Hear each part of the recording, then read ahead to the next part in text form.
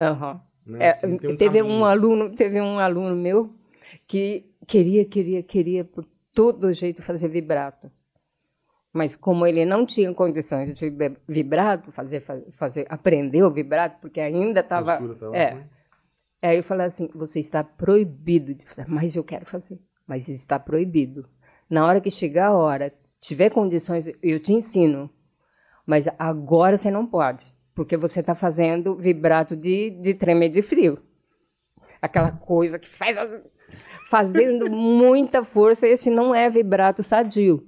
Então eu prefiro ensinar para você um correto. Aí ele falou assim, tá bom. Mas chegou lá. Chegou lá, nossa, tá tocando bem.